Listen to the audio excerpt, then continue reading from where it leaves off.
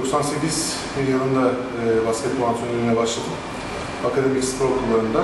E, onu mütakiben e, Heybeliada Spor Kulübü'nde genç takım antrenörlüğüyle devam ettim. Ve orada e, aldığımız sonuçlar ve oyuncularımızla beraber e, Fenerbahçe Spor Kulübü'ne transfer oldum. Fenerbahçe Spor Kulübü'nde e, 93 jenerasyonuyla, 1993 doğumlu oyuncularla e, antrenörlük kariyerimize devam ettik ve o jenerasyonda 5 sene boyunca e, önemli işler yaptık milli takımla beraber. Bunun yanında e, Fenerbahçe'nin pilot takım e, uygulamaları olan Türk Hava Yolları basketbol takımı ve Suadiye basketbol istas takımlarıyla da e, oyuncuların e, asıl e, çalışacakları sezon, küçük A sezonlarını hazırlamak adına da e, önemli Türkiye dereceli yaptık. Suadiye ile 93 doğumlarla Türkiye 5, e, Türk Hava Yolları'yla da Türkiye 6 olduk. Aynı zamanda Suadiye ile beraber Fenerbahçe'nin ardından yani A takımımızın ardından İstanbul ikinciliğini aldık. Ee, bir sonraki sene e, ben Galatasaray Spor Kulübü'ne geçtim. Galatasaray Spor Kulübü'nün ilk senemde A takım yardımcı antrenörü yaptım. Baş antrenör Ayhan Avcı'nın yanında birinci asistan olarak görev yaptım. Ondan sonra ikinci senemde Yıldız takım antrenörü olarak devam ettim. Bu esnada e, yine İstanbul'da e, ekstra önemli galibiyetlere e, imza attık ve e, İstanbul gelip Türkiye 5 olarak sezonu tamamladık. İkinci sezonda da e, tekrar Yıldız takım antrenörüyle İstanbul'u 3 bitirip İstanbul Üniversitesi'ne geçip İstanbul'u 3 bitirip e, aynı zamanda sezon içerisinde bir Fenerbahçe galibiyeti araya sıkıştırıp Türkiye Şampiyonası'na giderken de benim vatani görevim nedeniyle ben e, Türkiye Şampiyonası finallerine gitmeden istifa ettim. Onun akabinde de e, sezon e, yeni sezon askerliğim bittikten sonra iki sezon boş iki sezon çalışmadım. Askerlik bittikten sonra da İzmir Basketbol Kulübü'nden bir teklif geldi. E, hedeflerimiz benim kafamdaki planlarım e, uyuşunca beraber çalışmaya karar verdik. İzmir Basketbol Kulübü olarak e, öncelikle e, Sayın Başkan Cemil Tanrı'la da görüştüğümüz zaman nihai hedefler ve doğru hedefler koymamız, gerektiğini düşündük. Bununla ilgili olarak şimdi A takım olarak e, bir 90 doğumlu ve bir tane 92 doğumlu oyuncumuzun dışında geri kalan oyuncularımız hep altyapı oyuncusu. E, 94-95 doğumlu oyuncularımız var kadroda. Aynı zamanda 93 doğumlu oyuncularımız var. Ve bu hedeflerde e, altyapıya yönelik genç oyuncu yönelik bir kadro kurmanın daha doğru olduğunu inandık ve bunun e, hemen e, akabinde Fenerbahçe'den 1993 doğumlu Pınar Soyyiğit'le anlaştık. E, 3 ve 4 numara oynayan 1.82 boyunda. Yine birkaç tane daha burada da genç oyuncu düşünüyoruz açıkçası e, ve A takım sezonumuzu e, yine böyle çok e, sert defans yapan, e, mümkün olduğunca hızlı basketbol oynamaya çalışan, kontrollü basketbol yerine daha e, erken top kullanan ve oyun bilgisi e, daha ilerlere çıkacak oyuncularla e, devam etmeyi düşündük. Ama bir kimlik olarak İzmir Basketbol Kulübü e, genç oyuncuların enerjisiyle beraber e, basketbolu e, doğru oynayan ve e, maçı bırakmayan, iyi defans yapan bir e, takım olacaktır diye düşünüyorum zaman içerisinde ikincilikte. Altyapıyla da ilgili e, şöyle konuşmak gerekirse şöyle e, diyebiliriz. E, ben İstanbul'da edindiğim tecrübeleri burada İzmir'e aktarmak istiyorum.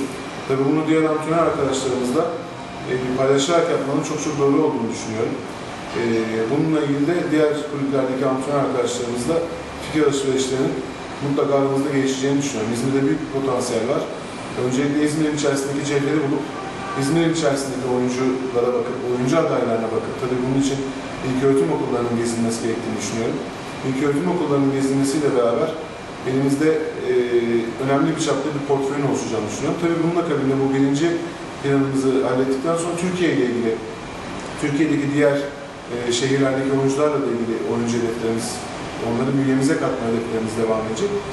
E, altyapıda da e, minik takım kadrosunu oluşturup önce İzmir kana kaynaklı, ondan sonra küçük yıldız genç takımımıza katkısı olabilecek diğer e, şehirlerdeki oyuncuları bünyemize katmak istiyoruz.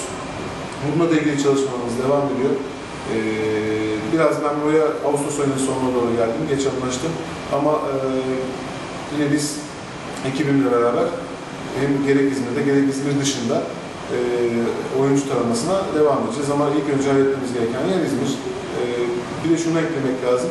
Bu altyapının oluşumunda, e, bu A takımının oluşumunda ve oyuncuların e, gösterdiği sporcu karakterinin oluşumunda çok büyük emeği olduğunu düşündüm.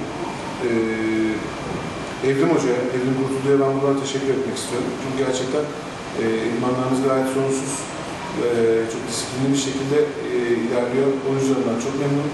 Bununla ilgili de e, bu yapıyı sağlayan benden önceki antrenör arkadaşım Evrim Kurtulu'ya e, teşekkür etmek istiyorum. Ha, şimdi e, İstanbul'dan gördüğümüz kadarıyla e, İzmir bir potansiyeli olan, iyi bir nüfusu olan ve yetenekli oyuncuların çıktığı bir e, lokasyon. E, bunun daha önce örnekleri tabii en bilinen örnek olarak Bristol Vargar'da olarak söyleyebiliriz. Yine e, altyapılar, e, altyapılardan gelip birincilikte basketbol oynayan Özge Yavaş'ı söyleyebiliriz. Yani bunu tabii daha çok, daha fazla örneklendirebiliriz ama genellikle biz buradan çıkan oyuncularımızın, birincilik oyuncularının ve ikincilikte kalmış üst oyuncuların genellikle İzmir'de kalmadığını dışarıdan gördük. Ee, İzmir'den çıkıp başka kulüplerde e, oynadıklarını gördük. Tabii bu büyük bir eksiklik İzmir için. Yani bir, e, daha çok şahısların etrafında dönüp de bir kulüp geleneğinin olmayışı bayan basketbolu için e, söz edebiliriz. Olmayışı e, İzmir bayan basketbolunda e, bir grup halinde, bir kalıp halinde yükselememesine sebep oluyor ama bireysel anlamda tek tük e, jenerasyonlara göre, göre oyuncuların milli takımlarda görev aldığını rastlıyoruz. Büyük kulüplere transfer olduğunu görüyoruz. Zamanında biz de e, Fenerbahçe ve Galatasaray'da görev aldığımız dönemlerde bunları yaptık. Yani İzmir'de en büyük eksiklik olarak e, bayan basketbol geleneğinin olmayışından bahsedebiliriz. Ve bununla ilgili de e, biz İzmir Basketbol Kulübü olarak bu konuyla ilgili adım atmanın doğru olduğunu düşündük. E, umarım bu konuyla ilgili İzmir'e yani yapabileceğimiz en büyük faydanın bu olduğunu düşünüyorum. Çünkü İzmir'deki bir cerrahlerin e, sürekli hani kafasını kaldırıp da dışarıya gideyim, dışarıda oynayayım e, şeklinde düşünmemesi gerektiğine inanıyorum. İzmir'in de kendine ait bir basketbol kültürü, tıpkı e, Antalya'da Antalya Koleji'nin yaptığı gibi, Ankara'da TED Koleji'nin yaptığı gibi bir kültür oluşturup e, İzmir basketboluna e, ve İzmir'deki lokas, İzmir lokasyonundaki oyunculara, oyuncu adaylarına örnek teşkil etmesi gerektiğini düşünüyorum. Bu konuyla ilgili umarım önümüzde e, bir zaman dilimi var. Bu zaman diliminde umarım e, bunları başarır hale geliriz.